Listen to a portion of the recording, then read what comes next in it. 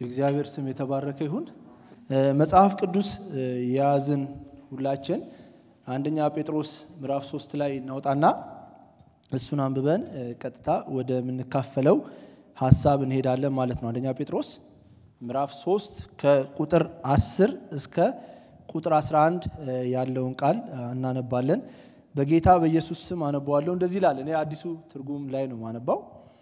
ስለዚህ ሕይወትን የሚወድ መልካም ቀኖችን ሊያይ የሚፈልግ ምላሱን ከክፉ ከንፈሮቹንም ተንኮል ከመናገር ይከልክል፣ ከክፉ ይራቅ፣ መልካምንም ያደርግ፣ ሰላምን ይፈልግ ይከተላትም ይላል። የምናገርበት ርዕስ ወይ የምንከፋፈል የምንማማርበት ክፍል በጎን ወይም መልካም ቀናትን ለማየት ትወዳለህ ወይ የሚል ርዕስ ነው። መልካምን ወይም በጎ ቀናትን ለማየት ትወዳላችሁ ወይ? ይህን ጥያቄ ቢጠይቅ በእርግጥ ሁሉም ሰው አዎ ነው የሚለው እና መልካም ቀን ወይ በጎ ቀኖችን ለማየት ምን እንደሚያስፈልግ ከእግዚአብሔር ቃል እንማማራለን ማለት ነው። እንግዲህ ያው አዲስ ዓመት ከፊት እየመጣ ስለሆነ አዲስ ዓመት ሲመጣ ሰው ሁሉ አይደል መልካም ነገር በጎ ነገር ይመኛል። አዲሱ ዓመት እንደዚህ ይሆንልናል፣ እንደዚህ ያርግልን ምንመኘው እርስ በርሳችንም መልካም ምኞት ነው። እዚህ ጋርም ያዕቆብ ሲናገር መልካምን ቀኖች ለማየት የሚወድ ይላል እና ለክርስቲያን ረጅም ህይወት፣ ደስተኛ ህይወት በነገራችን ላይ የጀመርነው ህይወት ነው። ሁላችንም ጌታ ኢየሱስ ክርስቶስን ስንቀበል እድሜያችን ከመቶ ዓመት ከሰማንያ ዓመት ቀጥታ ወደ ዘላለም ተቀይሯል እና ይሄ ከእግዚአብሔር የተቀበልነው ደስ የሚያሰኝ መልካም ህይወት ለዘላለም የሚቀጥል ነው አደለ? ጌታችን ኢየሱስ ክርስቶስን ስንቀበል ሁላችንም ከሞት ፍርሃት ባርነት ነፃ ወጥተናል። ከጸጸት ነፃ ወጥተናል። ሲኦልና ሞት አሁን አያስፈራንም። ክርስቶስን የተቀበለ በክርስቶስ የዳነ ሰው እንደዚህ አይነት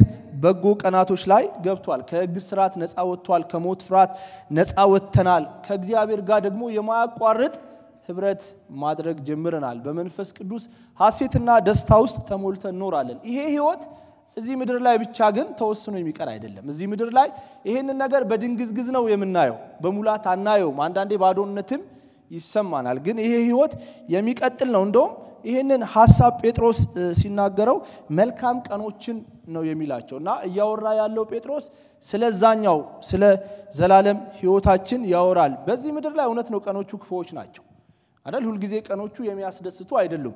ቀኖቹ ክፉዎች ናቸው። ግን ቀኖቹ ምንም እንኳን ክፉ ቢሆኑ በእነዚህ ክፉ ቀናት ውስጥ ሰውን የጌታ ህልውና የእግዚአብሔር መገኘት ለሰዎች መልካም ነገሮችን ይሰጣል። እግዚአብሔር በምድር ላይ ረጅም ህይወት እንድንኖር በጎ ዘመናትን እንድናይ ደስ ብለን እንድንኖር ደግሞ ሰሞኑንም እንደምንጸልየው እግዚአብሔር አይደል ክብሩን እንዲያመጣ እግዚአብሔር እንዲያድሰን እግዚአብሔር በህይወቶቻችን ላይ የተናገረውን መልካም ነገር እንዲፈጽምልን እንመኛለን። ደግሞ እግዚአብሔር በህይወታችንም ሊሆን ሊያደርገው ያለው ነገር አለ። እነዚህ በጎ ነገሮች ግን ዝም ተብለው አይገኙም፣ በምኞት ብቻ አይመጡም። ጴጥሮስ ይሄንን ሀሳብ የጻፈላቸው መልእክቱን የጻፈው ምዕራፍ አንድ ላይ ሄዳችሁ ብታዩ በገላትያ፣ በቀጰዶቅያ፣ በእስያ፣ በቢታንያ ተበትነው ለሚኖሩት ለአስራ ሁለቱ ለእስራኤል ነገዶች ነው የጻፈው። እነዚህ ሰዎች በስደት ወጥተዋል። ክርስቶስን በመቀበላቸው ምክንያት ጌታ ኢየሱስ ክርስቶስን ስለተቀበሉ ብቻ ተባረዋል። እስር፣ ግርፊያ፣ እንግልት፣ መሰደድ የገጠማቸው ሰዎች ናቸው እና ከሀገራቸው ተሰደው ወጥተዋል እና መልካምን ቀን ማየት የምትፈልጉ ከሆነ ይላቸዋል። በክርስቶስ የተነሳ ተሰደው የወጡ ሰዎች ናቸው። መከራ የበዛባቸው ሰዎች ናቸው። ለእነሱ ነው መልካምን ጊዜ በጎውን ዘመን ማየት የምትፈልጉ ከሆነ ይልና መዝሙር 34 ላይ ነው የሚሄደው። የምንነጋገረው መዝሙር 34 ላይ ያለውን ሀሳብ ነው። መዝሙር 34 ላይ ዳዊት የዘመረውን መዝሙር ያመጣላቸዋል ማለት ነው። መዝሙር 34 ላይ ዳዊት ይህንን የዘመረው አንደኛ ሳሙኤል ምዕራፍ 21 ከ10 እስከ 15 ተሰዶ የወጣበት ዘመን ነበረ። ዳዊትም እንደነሱ ስደተኛ ሆኖ ዳዊት ወደ ንጉሥ አንኩስ የሚባል ሰው ጋር ወደ ጌት ተሰዶ የወጣበት ዘመን ነው። ተሰዶ ደግሞ የወጣው በንጉሥ ሳኦል ምክንያት ነው። ዳዊት ለንጉሥ ሳኦል መልካም ሰው ነበረ። ጎልያድ አርባ ቀን ሙሉ በእስራኤል እየተመላለሰ እስራኤልን ሲያስፈራራ ንጉሥ የሆነው ሳኦል ምላሽ መስጠት ያቃተውን ይህንን ተግዳሮቱን ያራቀለት ዳዊት ነው። ከዛ በኋላ ዳዊት ይህን ሲያደርግ አንድ መዝሙር ወይም አንድ ዘፈን ከተማውን ሞላው። ዳዊት እልፍ ገደለ፣ ሳኦል ሺህ ገደለ መባል ጀመረ። ይሄ ነገር ሳኦል ውስጥ ቅናት ጨመረበት። እንዴት እኔ ንጉሥ ሆኜ ለእኔ አንድ ሺህ ለዚህ ለተራባሪያ አስር ሺህ እያለ ቅናት ውስጡ ጀመረ። እንደገና ይህንን ብቻ አድርጎለት አልተውም። ክፉ መንፈስ ከእግዚአብሔር ተልኮበት ሳኦልን በሚያሰቃየውም ሰዓት ዳዊት እየመጣ በገና እየተጫወተ ክፉ መንፈስ ያባረርለት ነበረ። ይሄን ሁሉ መልካም ነገር ይውልለት ነበረ። ሳኦል ግን ለዚህ ምላሹ ክፉ ነበረ። ላደረገለት መልካም ነገር፣ ለሰራለት በጎ ነገር ዳዊትን ማሳደድ ጀመረና በስደት ተሰዶ ወጣ። ስለዚህ ዳዊትም ይሄን መዝሙር የዘመረው ስደተኛ ሆኖ ነው። መዝሙር 34 22 ቁጥሮች አሉት። ከአንድ እስከ 11 ካያችሁ እግዚአብሔር ያዳነው ሰው እግዚአብሔር መልካም ነገር ያደረገውለት ሰው ለእግዚአብሔር የሚያመጣውን ምስጋና ይዘምር ይናገርና ከ12 እስከ 22 ድረስ ደግሞ እግዚአብሔር እንዲያድነው የሚፈልግ ሰው እግዚአብሔር ነፃ እንዲያወጣው የሚፈልግ ሰው እንዴት ባለ ሕይወት መመላለስ እንዳለበት የሚያስተምርበት ክፍል ነው ማለት ነው። እና ዳዊት ስደተኛ ሆኖ ነው የወጣው። እዚህ ክፍል ላይ ተሰዷል። ሳኦል እያሳደደ ነው። ያሳደደው ሰው ደግሞ መልካም ያደረገለት ሰው ነው። ወገኖች ሰው ማንም ሰው ተነስቶ ክፉ ቢሆንባችሁ ብዙ ላይ ሰማችሁ ይችላል። መልካም ያደረጋለችሁለት ሰው፣ ያበላችሁት ሰው፣ ከክፉ ነገር ያዳናችሁት ሰው፣ በእናንተ እጅ የተማረ ሰው ክፉ ሆኖ ሲነሳባችሁ ያናድዳል። ለብዙ እርግማን፣ ለብዙ ንግግር ሰዎችን ያነሳሳል። ዳዊት ግን ይሄንን ሲያደርግ አንመለከትም። ስለዚህ ዳዊት አንደኛ ሳሙኤል ምዕራፍ 16 ላይ እግዚአብሔር የተናገረው ነገር አለ። ከፊቱ ንጉሥ ትሆናለህ ብሎታል። ከፊትህ መልካም ቀናቶች አሉ ብሎታል። እና እንደሚነግስ በእስራኤል ላይ ንጉሥ እንደሚሆን ያውቃል። ይሄንን ተስፋ ያደርጋል። ደግሞ እዚህ ጋር ከሱ በፊት ያለው ንጉሥ እያሳደደ ነው። ሁለት ዳይለማ ውስጥ ገባ።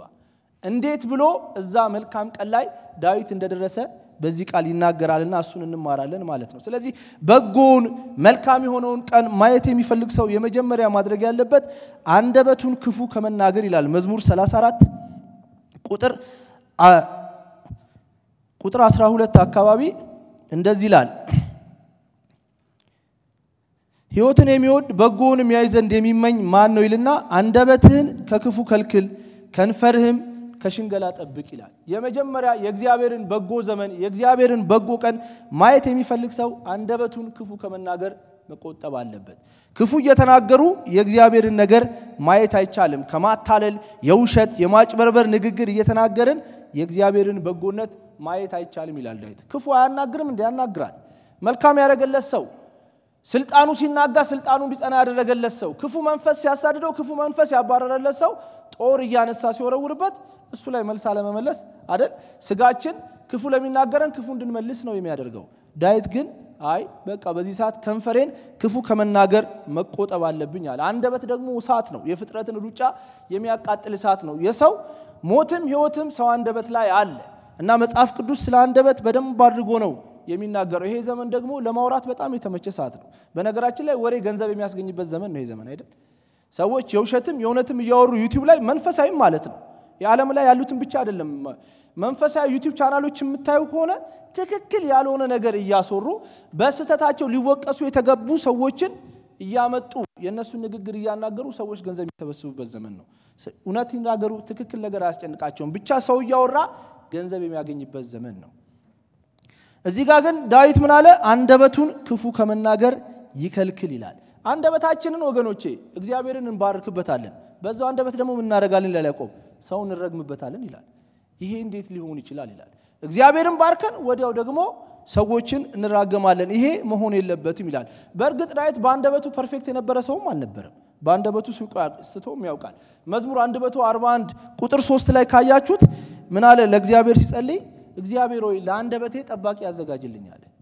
ለአንደበቴ ጠባቂ ያዘጋጅልኝ፣ የከንፈሮቼንም መዝጊያ አንተ ጠብቅልኝ አለ። አንደበት ስለሚስት በጣም ፍጹም ሰው በነገራችን ላይ በአንደበቱ የማይሰናከል ሰው ፍጹም ሰው ነው ይላል መጽሐፍ ቅዱስ። እና አንደበቱ ሊስትበት ሲል እግዚአብሔር ሆይ እባክህ ለአንደበቴ ጠባቂ አዘጋጅልኝ አለው። ስንቶቻችንን በአንደበቶቻችን የማንስት እኔ በአንደበቴ ስቼ በተለይ ትንሽ ስንቆጣ፣ ትንሽ ስንናደድ፣ ትንሽ የሆነ ያላሰብነው ነገር ሲሆን ቶሎ ምላሽ ለመስጠት፣ ቶሎ ለመፍረድ፣ ቶሎ የሆነ ነገር ለማድረግ የሁላችንም አንደበት ይስታል። እዛ ነው እንደዛ እንዳይሆንበት እግዚአብሔር ሆይ ለአንደበቴ አንተ ጠባቂ አዘጋጅልኛል። እግዚአብሔር ለአንደበታችን ጠባቂ ይስጠን። ብዙ ነው ምንስተው እኮ በጸሎት ርዕስ ሀሳብንም እኮ እንስታለን፣ በስብከትም አድርገን እንስታለን። አንዳንድ ጊዜ አንደበታችንን መቆጣጠር ተንና መናገር የሌለብንን ብዙ ነገር ካወራን በኋላ ደግሞ ገብተን የምንጸጸትበት ጊዜ አለ። አንደበትን ከክፉ ብቻ ደግሞ ሳይሆን ከሽንገላም ጠብቅ ይላል።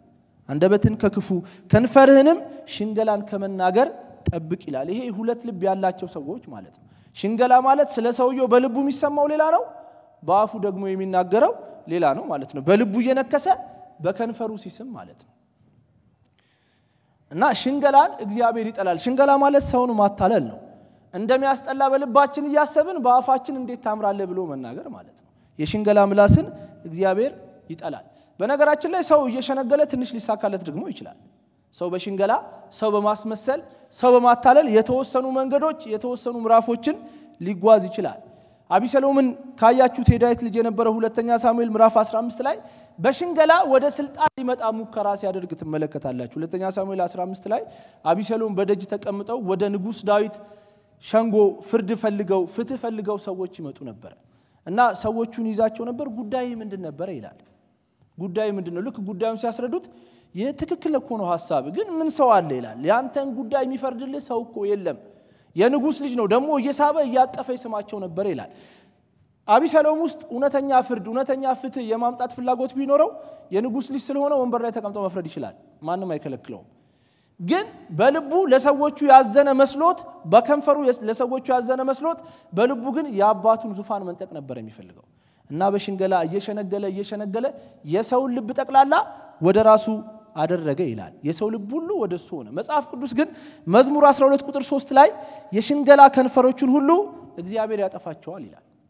የሚሸነግሉ ከንፈሮችን ሁሉ እግዚአብሔር ያጠፋቸዋል ስለሚል ይሄ አቢሰሎም ምንም እንኳን የሰዎች ልብ ሁሉ ከዳዊት ተነስቶ ከእሱ ጋር ሄዶ ነበረ ግን አቢሰሎም ተንጠልጥሎ ሞተ ይላል። ጸጉሩን ዛፍ ይዞ ተንጠልጥሎ ሞተ። በሽንገላ ስለነበረ የሄደው ሽንገላው ረጅም ምዕራፍ አላስኬደውም። የተወሰኑ መንገዶች ያስኬዶታል። ብዙ ተከታዮችን አግኝቷል። ጀነራሉ ተከትሎታል። ካህኑ ተከትሎታል። ብዙ ሕዝብ አብሮት ተከትሎታል። ግን በሽንገላ ከንፈር ስለነበረ የተነሳው የሚፈልግበት ግብ ላይ መድረስ አልቻለም። ያለ ጊዜው ሞተ ማለት ነው። እግዚአብሔር ሸንጋይ ምላሶችን አይወድም። እየሸነገልን ክፉ እየተናገርን ምንም መልካም ነገር ላያችን ላይ ብንናገር እግዚአብሔር የተናገረው መልካም ነገር ውስጥ በእንደዚህ አይነት ነገር መግባት አትችሉም ይላል ዳዊት። አንደበታችን ክፉ እየተናገረ ከንፈሮቻችን እየሸነገሉ የእግዚአብሔርን መልካም ቀኖች ልናያቸውን የምንወዳቸውን መልካም ቀኖች ማየት አንችልም አለ። ጌታ ኢየሱስ ክርስቶስም ተናግሯል። ምግብ በበሉ ጊዜ ምንድነው እጃቸውን ሳይታጠቡ ያንተ ደቀ መዛሙርቶች ይበላሉ ምናምን ሲሉት ወደ አፍ የሚገባ ሰውን አያረክስም አለ አይደል? ብዙ ሰው ስለሚበላው ነገር ይጠነቅቃል። ይሄ እንትን ስጋ ነው የእንትን ስጋ ነው አልበላም ምናምን ይላል። ግን ይሄ የሚበላው ተበልቶ በዚህ ይወጣል፣ ምንም አይጠቅምም አለ። ከሰው አፍ ግን የሚወጣው የሰውን ሕይወት ያረክሳል ይላል። ስለዚህ መጠንቀቅ ያለባችሁ ከአፋችሁ ስለምታወጡት እንጂ ወደ አፋችሁ ስለምታስገቡት አይደለም አለ። እግዚአብሔር ለአንደበቶቻችን ጠባቂ አድርግልን ወገኖቼ። እንሸነግላለን አንዳንድ ጊዜ ሳናስበው። ስብከቱም ሳንወደው ምርጥ ስብከት ሰበክ እኮ እንባባላለን። ዝማሬውን ሳንባረክ ምን ሳንል አሪፍ ነበረ ምናምን ዞር ብለን ግን ዛሬ ግን ምንድን ነው ሲያደርጉ የነበሩት? ሰውን ይሄን ማታለል ለሰው ማታለል ይቻላል። እግዚአብሔርን ግን በዚህ መንገድ ማታለል አይቻልም። ግን እንደዚህ ሰውየው ላለማሳዘን ብለን ሳናስበው የሽንገላን ነገር እንናገራለን። የሽንገላ ንግግር ከአፋችን ይወጣል። ስለዚህ እየሸነገልን የእግዚአብሔርን ነገር ማየት አንችልም ማለት ነው። ስለዚህ ያዕቆብ ሶስት ሁለት ላይ ሲናገር በንግግሩ የማይሰናከል ማንም ሰው ቢኖር እርሱ ሰው ፍጹም ሰው ነው ይላል። እግዚአብሔር ወደዛ ያሳድገን ወገኖቼ። አንደበታችንን ቁጥብ ወደ መሆን ማለት ነው። ሁላችንም ብዙ እንናገራለን። እኔ ብዙ ጊዜም ስቼ ራሴን ማታ ላይ ግን ምን ሆኜ ነው ያልኩት ብዬ ራሴን የገመገምኩበት ጊዜ አለ። በአንደበታችን በምንናገረው ነገር ደግሞ የራሳችንም ነገር ይጎዳል፣ ሰውንም ልንጎዳ ስለምንችል ለአንደበታችን ሁልጊዜ መጠንቀቅ አለብን። እግዚአብሔር አሁንም ለአንደበቶቻችን ጠባቂ ያበጅልን። ይሄ ትልቅ ጸሎት ነው ወገኖች። በአንደበታችን ስለምንረክስ አንደበታችን ማንነታችንንም ገልጦ ስለሚናገር ማለት ነው። እንደገና በጎውን ቀን ማየት ትፈልጋለህ ወይ ይላል። ያው ሰዓቴን ለመጠቀም ነው ቶሎ ቶሎ እያልኩ አንዳንዱን ሀሳብ ምዘለው። መልካምን ቀን በጎውን ቀን ማየት ትፈልጋላችሁ ይልና ዳዊት ሁለተኛ የሚያነሳው ነገር ምንድን ነው? ከክፉ ራቅ፣ መልካምን አድርግ ይላል ቀጣዩ ቁጥር ላይ።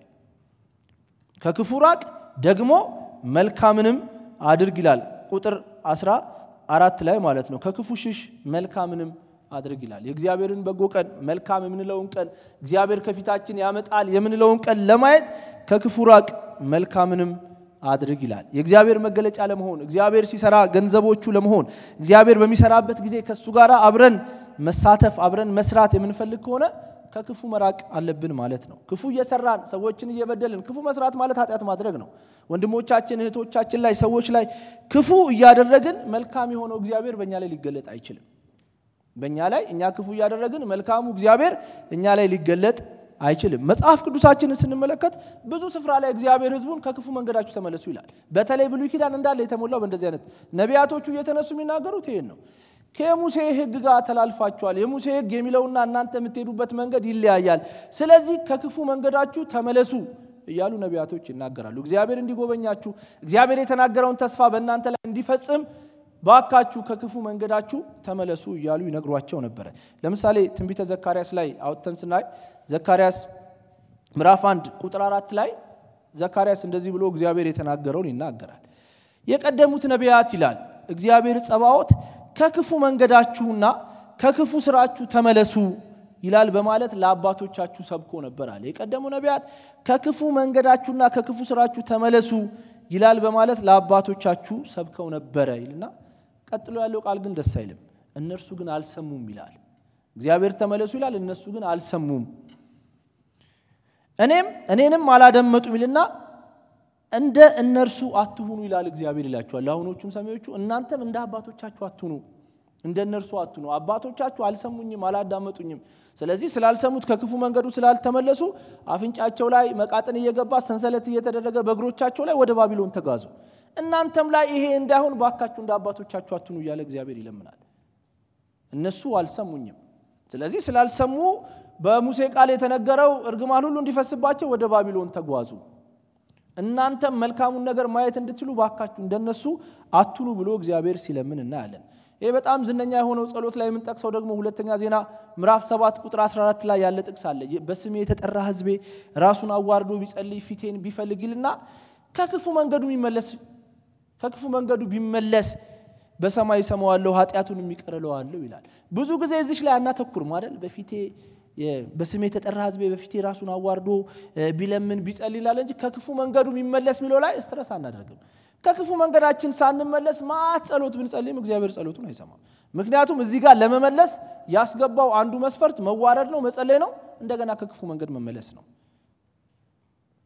ከክፉ መንገዱ ቢመለስ እሰማዋለሁ አለ። ስለዚህ በጸሎት ለመሰማት ክፉ መንገድ ላይ እየሄድን ከሆነ ባልንጀሮቻችንን እየጎዳን በዛ መንገድ እየሄድን ከሆነ ከዚህ ክፉ መንገድ ካልተመለስን እግዚአብሔር በጎ ቀን ያለ ውስጥ መግባት አንችልም ነው የሚለው። ከክፉ መንገዳችን መመለስ አለብን እያለ ይመክራል ማለት ነው። መጽሐፍ ቅዱስ ስለ ሐዋርያት ሲናገር ሐዋርያት ሥራ ላይ ምዕራፍ አራት አካባቢ ሐዋርያቱ በትምህርታቸው ከተማውን ሞሉት ይላል። ጥቂት እኮ ናቸው አስራ አንድ እና በትምህርታቸው ከተማውን ሞላችሁ ተብሎ ክስ መጣባቸው።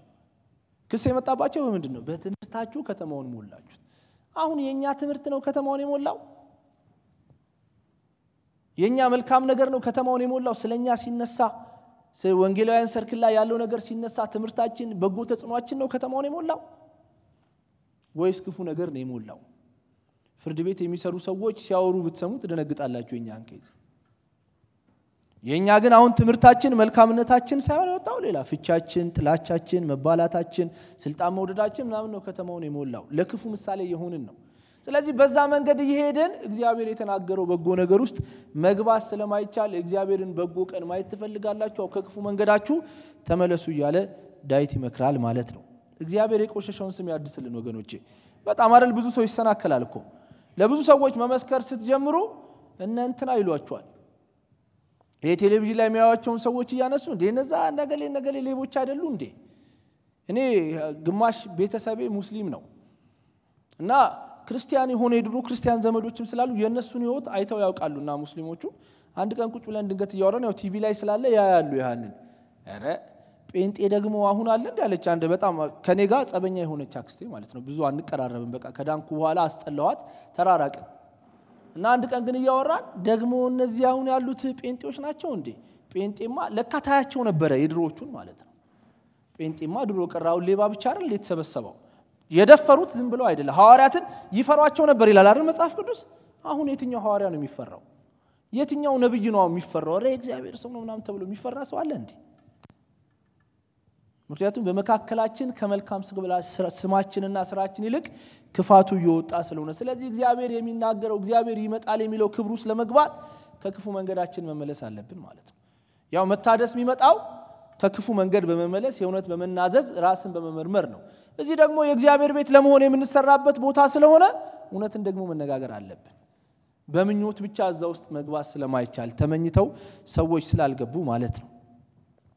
ስለዚህ ስራችሁን አይተው መልካሙን ስራችሁን አይተው በሰማይ ያለው አባታችሁን እንዲያከብሩ ብርሃናችሁ በሰው ሁሉ ፊት ያብራ ይላል። ስለዚህ ከክፉ ይራቅ ይልና መልካምን ደግሞ ያድርግ። ከክፉ መራቅ ብቻ በቂ አይደለም።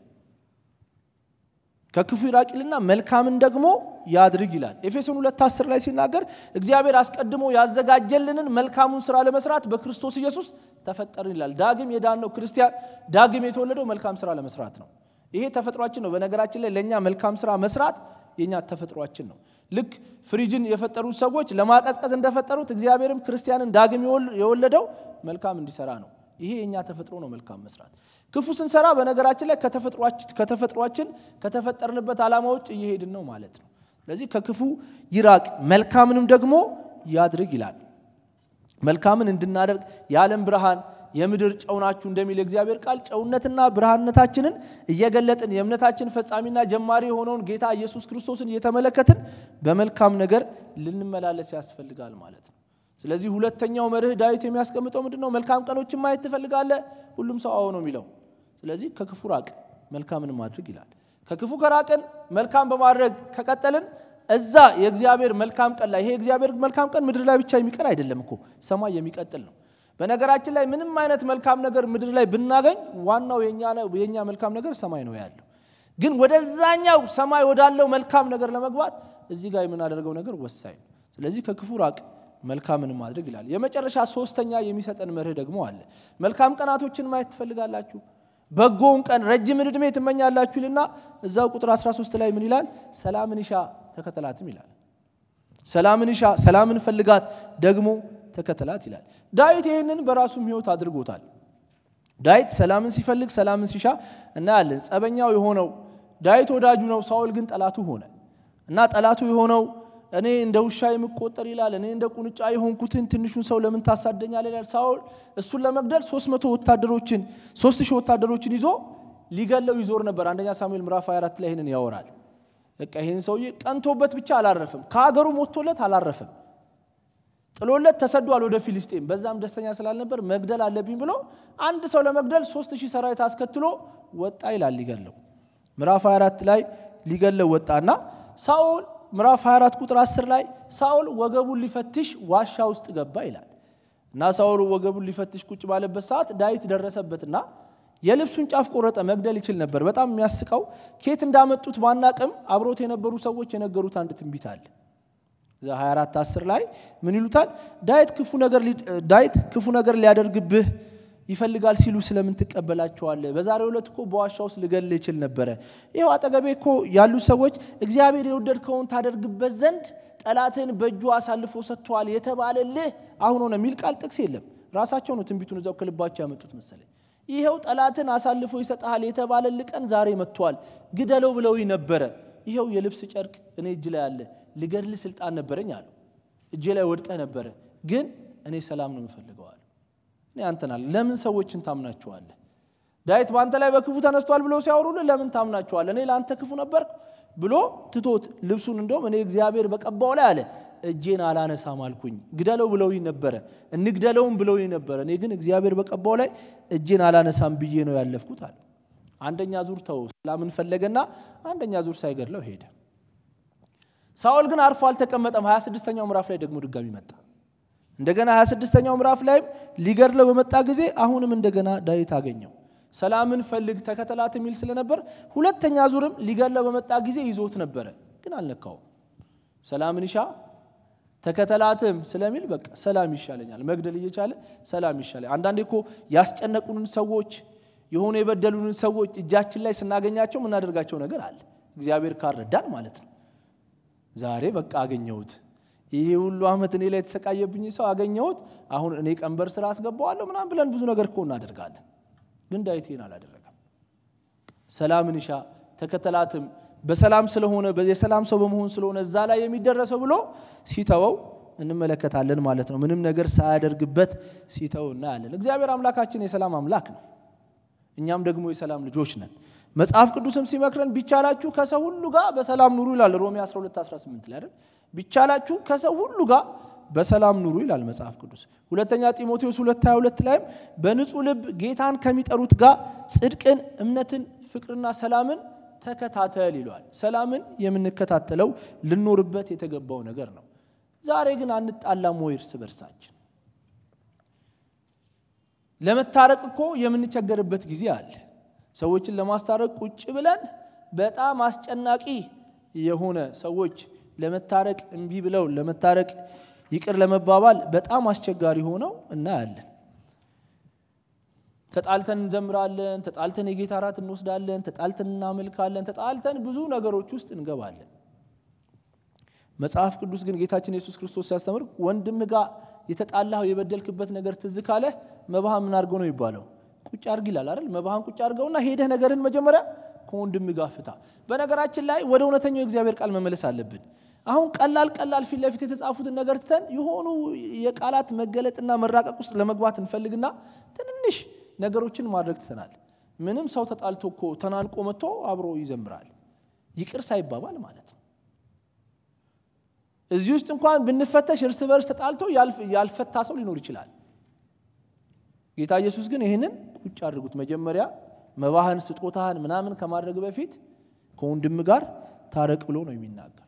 ስለዚህ አሁን አዲስ ዓመት ሲመጣ ብዙ ሰው እንዲያገኛለሁ እንዲህ መልካም ይሆንልኛል፣ የዚህ ነገር ዓመቴ ነው፣ የዚህ ነገር ነገሬ ነው ብሎ ይናገራል። እነሱ ጥሩ ናቸው በራሳቸው። ግን ዝም ብለን ስላልን እዛ ውስጥ መግባት አንችልም። ይሄን የብሉይ ኪዳን መርህ ነው ጴጥሮስ አዲስ ኪዳን ላይ ያሉ ክርስቲያኖችም ያመጣው። መልካምን ቀኖች በጎ ቀኖችን ማየት ትፈልጋላችሁ ወይ? እዚህ አንደበትህን ክፉ ከመናገር ከናፍርቶችንም ከሸንገላ ጠብቅ፣ ከክፉ ራቅ፣ መልካምን ማድረግ፣ ሰላምን እሻ፣ ተከተላትም፣ ያን ጊዜ ወደዛ ትገባል ይላል። ለምንድን ነው እንደዛ የሆነው ካላችሁ ቁጥር 15 ላይ መዝሙር 34 15 የእግዚአብሔር ዓይኖች ወደ ጻድቃን ናቸው ይላል። እግዚአብሔር እያንዳንዱ የምናደርገውን ነገር ይከታተላል፣ ያያል። የእግዚአብሔር ዓይኖች ወደ ጻድቃን ናቸው፣ ጆሮዎቹም ለጩኸቶቻቸው ክፍት ናቸው ይላል። ጸሎት ይሰማል ማለት ነው። እግዚአብሔር አካሄዳችንን ያያል ማለት ነው። በዚህ የምንሄድ ከሆነ ክፉ በሚያደርግበት ግን የእግዚአብሔር ፊት ግን በክፉ አድራጊው ላይ ነው ይላል። የእግዚአብሔር ቁጣ ግን ክፉ በሚያደርጉት በአንደበታቸው በሚያሙት በሽንገላ በሚመላለሱት ከሰላም ይልቅ ጠብና ጦርነት በሚወዱት ላይ የእግዚአብሔር ፊት ግን በነሱ ላይ ነው ይላል። ስለዚህ ወገኖቼ መልካም ማየት የምንፈልግ ከሆነ እግዚአብሔር የሚያደርገው መልካም ነገር ውስጥ መግባት የምንፈልግ ከሆነ የእግዚአብሔር የፕሪንሲፕል የመርህ አምላክ ነው። እግዚአብሔር እንደ ቃሉ ነው የሚሰራው። እግዚአብሔር ከቃሉ ጋር አይጣለም። ለሆነ ሰው ዝም ብሎ አስገብቶት የሆነ ሰውን ደግሞ የሚተው አምላክ አይደለም። የእያንዳንዱን ሰው ሕይወት የሚመዝን አምላክ ነው። ስለዚህ መልካም ቀኖችን ማየት የምንፈልግ ከሆነ አንደበታችንን መግራት አለብን። ኑሯችንን ከክፋት ወደ መልካም መለወጥ አለብን። የልባችንን ዝንባሌ ከጦርነትና ከጸብ ወደ ሰላም ማምጣት አለብን። ስለዚህ አንደበታችን ላይ ሽንገላ ካለ ንስሐ ገብቶ ይህን መተው ያስፈልጋል ማለት ነው። በክፉ መንገድ እየሄድን ከሆነ ወደ መልካም መንገድ ልባችንን መመለስ አለብን። የተጣላናቸው ሰዎች በጸብ ውስጥ ከሰው ጋር ካለን ከዛ ጸብ መውጣት ያስፈልጋል። ከዛ ውጭ በማወጅ ቢሆን በተነገረላቸው ቃል ቢሆን የእስራኤል ልጆች ወደ ባቢሎን አይጓዙም ነበረ። ባቢሎን መጥቶ እየቀጠቀጠ አይወስዳቸውም ነበር። አረ ትልልቅ ቃል ነበር የተነገራቸው። እግዚአብሔር በጣም ትልልቅ ተስፋ ነበር የገባላቸው። ግን የእግዚአብሔርን ቃል ስላልሰሙ እግዚአብሔር ያዘዛቸውን ትእዛዝ እኔን ካመለካችሁ፣ ከክፉ ከራቃችሁ፣ ሰንበቴን ከቀደሳችሁ ራስ እንጂ ጅራት አትሆኑም አላቸው። ግን ይህንን ካላደረጋችሁ ደግሞ ራስ ሳይሆን ጅራት ነው የምትሆኑት አላቸው። ጅራት ሆኑ። ለሰባ ዓመት ተረገጡ።